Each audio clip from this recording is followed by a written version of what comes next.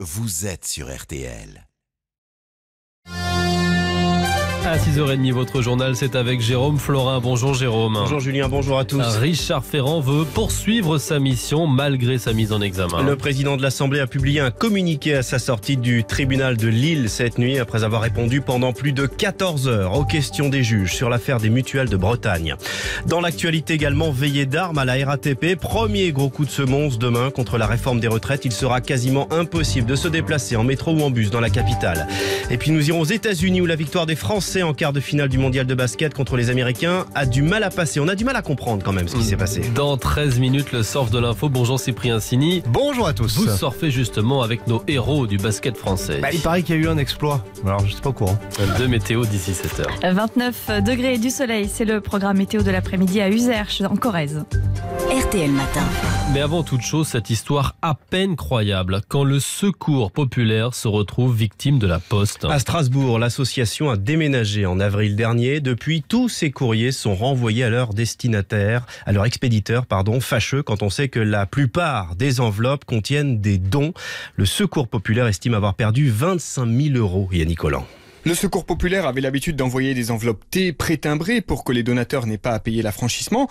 Alors au moment de son déménagement en avril dernier, le Secours populaire du Bas-Rhin a prévenu la Poste pour modifier l'adresse et c'est là que tout a dérapé, comme l'explique Camille Vega, le secrétaire général. Au lieu de changer l'adresse, en fait, ils ont supprimé le numéro d'autorisation qui existait pour le remplacer par un autre. Sauf que du coup, ce qui s'est passé, c'est que les appels aux dons qui étaient en cours, quand les gens ont renvoyé leur chèque, au niveau de la poste, c'est un numéro d'autorisation qui n'existait plus. Ces enveloppes T qu'on voit ici, elles n'étaient plus valables. C'est ça, exactement. Donc euh, ils ont tout renvoyé aux personnes qui ont envoyé, donc à nos donateurs, en mettant juste une phrase laconique dessus en disant euh, numéro d'autorisation non valable. Le Secours populaire du Bas-Rhin n'a donc reçu aucun don par courrier entre avril et septembre, une véritable catastrophe. C'est un véritable gâchis et une vraie frustration. Les estimations qu'on a faites, c'est en comparaison l'année dernière, et là on a une différence de 25 000 euros. C'est quand même assez énorme puisque ça représente l'intégralité de notre campagne euh, vacances. Pour l'instant, la Poste considère qu'elle n'a rien à se reprocher.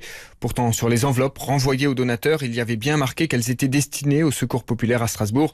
La nouvelle adresse n'était pas très difficile à trouver. Effectivement, récit de Yannick Collant. Et on RTL. reparlera du secours populaire juste avant 7 heures avec notre expert Martial You qui va nous dévoiler le baromètre du secours populaire sur la pauvreté et qui va s'intéresser plus précisément au regard des enfants sur, euh, sur, sur, sur la précarité. Euh, Pour l'heure, 6h33 minutes, c'est l'info de la nuit. Richard Ferrand, proche parmi les proches d'Emmanuel Macron, est mis en examen. Le président de l'Assemblée nationale, quatrième personnage de l'État, était entendu jusqu'à tard hier soir par les juges qui enquêtent sur l'affaire dite des mutuelles de Bretagne. À l'époque où il en était le directeur, il aurait favorisé sa, compa- sa compagne via une opération immobilière.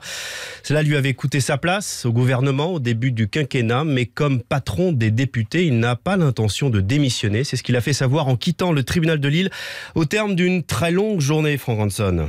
Il est minuit et demi passé quand le président de l'Assemblée nationale ressort du palais de justice à l'arrière d'une des deux berlines aux vitres teintées qui s'élance à toute allure sur le pavé lillois.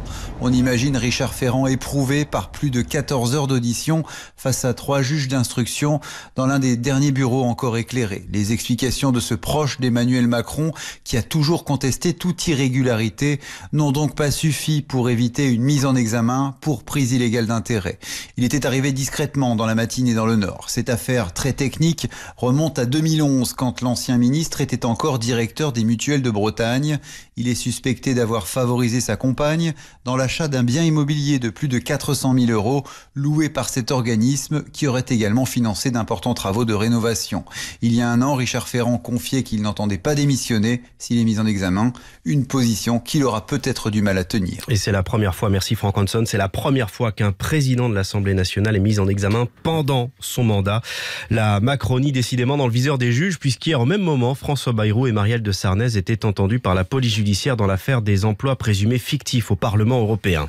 La PMA passe un premier barrage à l'Assemblée. L'ouverture à toutes les femmes de la procréation médicalement assistée a été validée en commission. C'est l'article 1 du projet de loi bioéthique. Les débats commenceront le 24 septembre dans l'hémicycle. Évitez, évitez demain si vous le pouvez les transports en commun en Ile-de-France. Pourquoi? Parce qu'il y a une journée noire en vue. On vous détaille tout juste après ça sur RTL. RTL Matin. Julien Cellier. Allez, la suite de votre journal à 6h37 minutes sur RTL avec Édouard Philippe au front sur la réforme des retraites à la veille d'une première grosse journée de mobilisation à la RATP. Le Premier ministre détaillera tout à l'heure le calendrier de la réforme devant les partenaires sociaux au Conseil économique et social et il sera ce soir aux 20h de TF1. Pas moins de 10 lignes de métro seront fermées demain à Paris, c'est du jamais vu. Seules les lignes 1 et 14 fonctionneront normalement mais avec un risque évident de saturation. Prévoyez un train sur 5 pour le RERB, un train sur 3 pour le RERA. Tous les détails sur notre site rtl.fr. Les syndicats dénoncent la suppression annoncée des régimes spéciaux contenus dans la réforme. Ils veulent frapper fort demain. Quant aux usagers, ils devront se débrouiller comme Jérémy. C'est vraiment le bordel quoi. Enfin, c'est il y a plein de monde, ça se bouscule, euh, tout le monde est un peu énervé et stressé du coup le matin. Je vais quand même essayer de prendre les transports, mais euh, après on verra vraiment le moment venu. Mais oui, après c'est possible qu'on se rabatte sur les taxis, les Uber ou, ou le scooter. Vous êtes prêt à perdre peut-être une demi-journée ou en tout cas mettre une demi-journée pour aller au travail et en revenir? Oui, bah après il n'y a pas de choix du coup. Forcément en tant qu'usager oui ça dérange, mais après je peux pas aller à l'encontre de ça. Propos recueillis par Gauthier de Longbugard. Et à 7h45, Philippe Martinez, leader de la CGT, sera l'invité d'Alba Ventura sur RTL. En bref, à l'étranger, à retenir ce chiffre, 2500 personnes sont toujours portées disparues aux Bahamas. Elles n'ont pas été localisées depuis le passage de l'ouragan Dorian qui a fait 50 morts.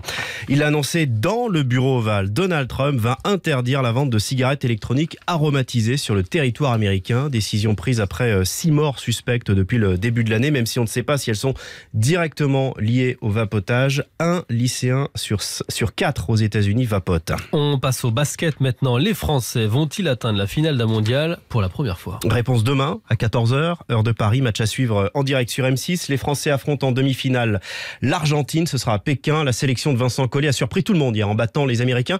Euh, Philippe Corbet, au pays de la NBA, on, on la mauvaise? Oui, alors pour être honnête, l'information ne fait pas les gros titres ici, peut-être parce que ce n'est pas un jour de gloire. La fin d'une série de 58 victoires en compétition depuis 2006. C'est assez amusant de voir la perplexité des journalistes devant cette nouvelle. Chaque fois que l'Amérique perd, c'est un gros problème. Mais faut-il s'inquiéter ou dit autrement dans une émission de radio, est-ce une humiliation de s'incliner devant la France? Est-ce que c'est vraiment grave selon toi qu'on n'ait pas gagné? Ce n'est pas la vie ou la mort, mais en même temps, je suis un Américain avec un ego. Et le basket, c'est quelque chose qu'on espère pouvoir dominer. En fait, l'équipe américaine, on n'avait pas envoyé nos superstars. Oui, beaucoup de superstars avaient refusé de jouer. Néanmoins, quand tu t'alignes pour jouer contre la France, il faut mieux jouer que ça. Et il se console en saluant les performances de Français de la NBA, Rudy Gobert et Franck Nilikina.